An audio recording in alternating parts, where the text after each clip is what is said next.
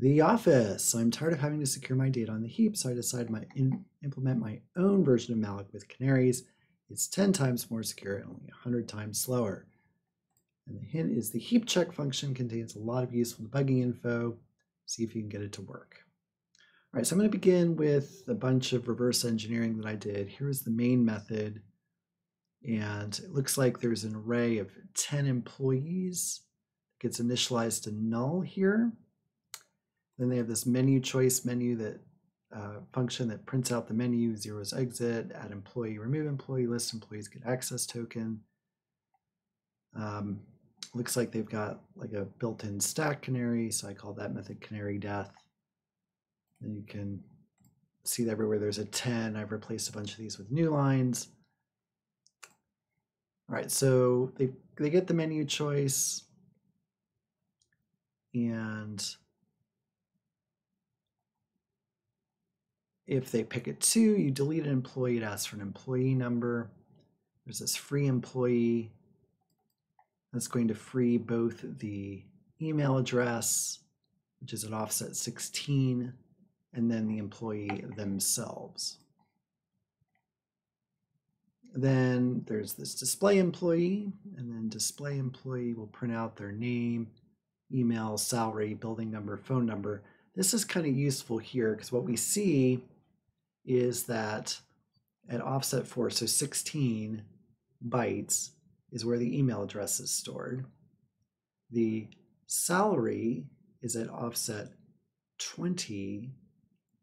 The building is at offset 36. So that's going to be important later.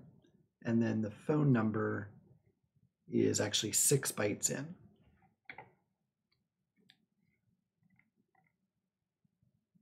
Okay, so here we have this get token method, which takes in an employee. Again, there's that new line. So if the employee's name is admin, it will print out the flag for us. So our goal is going to be to get some employee to have the name admin. When we go to add an employee, won't let us add more than 10 employees. In this add employee method, unfortunately, is going to check and it's not going to let us specify admin. We can specify an email address if we want, and then it mallocs that second field. Then interestingly, this building, we can specify whether or not we want to put in a building. That's going to be important later. And so that building was at offset 36, which we talked about, and that's important. And we have this malloc, so malloc, there's allocating pages with canaries. There's this heap check method. It's always called with zero. If you look at heap check, you'll see that that flag is, if it's one, it has a bunch of debug printing. So that can be super handy.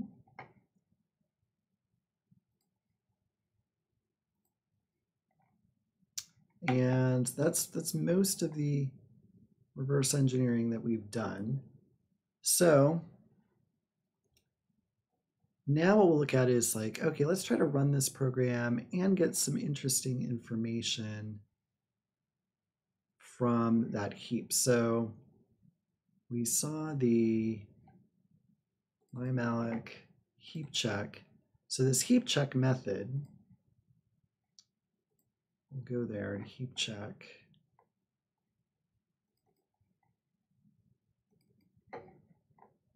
I got called here in my malloc.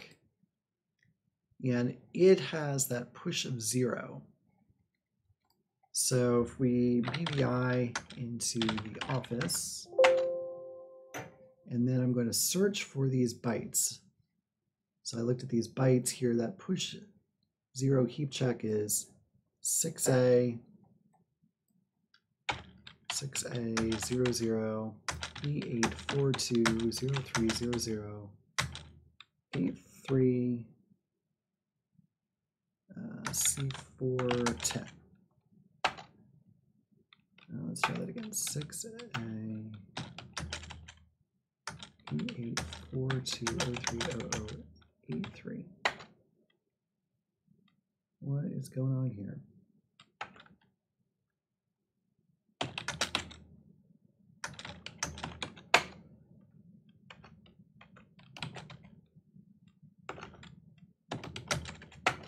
Oh yeah, I forgot I need to capitalize this. Okay, so 6A00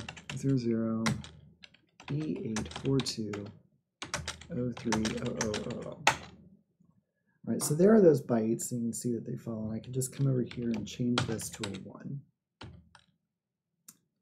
And then I can look for the next one down here. So backslash 6A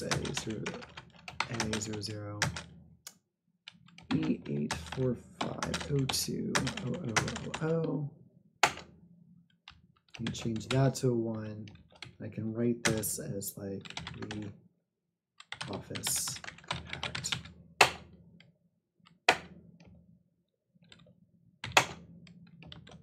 All right, so now that I have the office hacked, I can run GDB on that.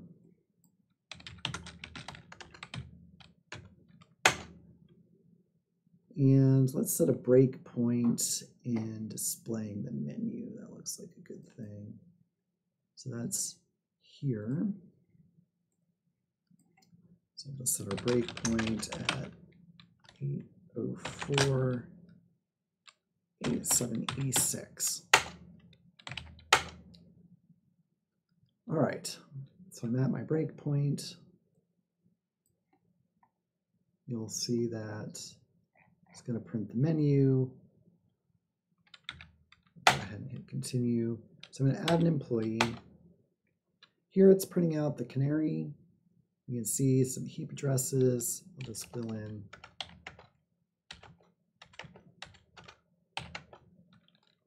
and after it's allocated, I have a size 52 thing here. So let's do like x, 16, x there. So we see that there's the size. Actually, no, that's a little early. What I want is I want to print the heap bottom. Okay, so there's my canary, I think. There's my size. There's the size of the previous block. Here's that name that was zero, and so forth. And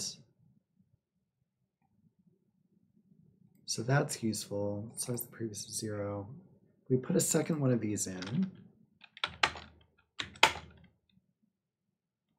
Now we're going to have two of these 52 blocks.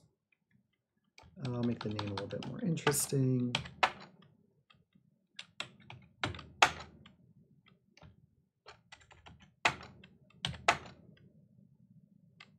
So now we can look here.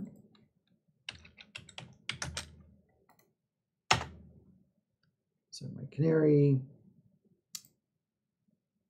size, previous size, you see the zeros I put in, now if we look at the next one that follows it, right, so there's the canary again, size, previous side, there's there the A's that I put in. Okay, so, so that's useful to us. Now, we also can see by the way this thing allocates, let's go ahead and delete employee zero. And we can look at the heap. So go ahead and do an add so you can see the heap. So we have that size 52 block that wasn't allocated and it reallocates it. So our goal here is going to be we're actually going to create something of size 36 because remember that building number was at 36 offset. And then we'll end up with like a 52 and a 36. And then when I deallocate, these, this, these blocks will still be there. When we allocate two ones without email addresses, this 52 will be over the old 36. And since that old 36 had a canary at the end, the building number will contain the canary. So let's just quit and do that again so you can get the idea. So break 0x804 87b6.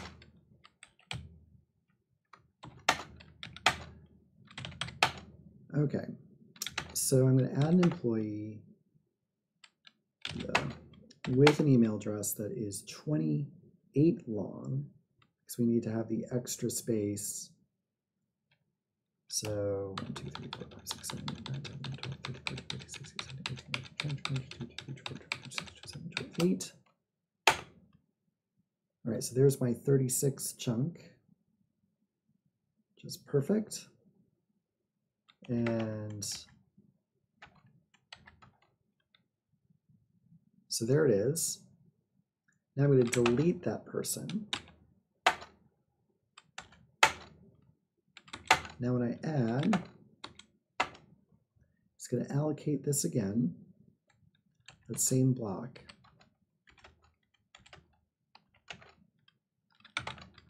And I add again, The second block here is where that 36 was the first time.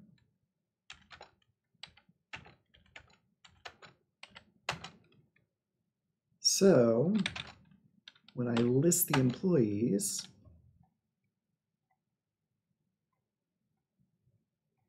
this is my canary. You can see that from here, right? That's my canary. It ended up in the building number because I aligned those allocations exactly the same. Okay, so once I have the canary, now things get pretty easy. So I can just look at making that first employee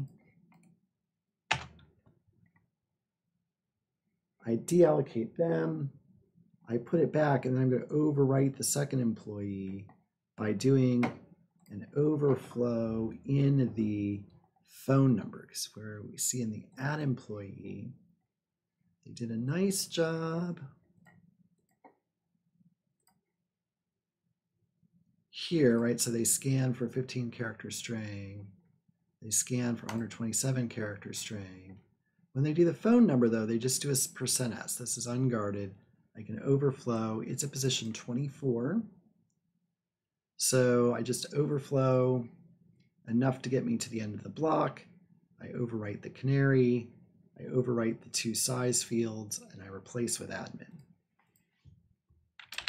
So I've got this in a Python program, I created a little subroutine for adding an employee.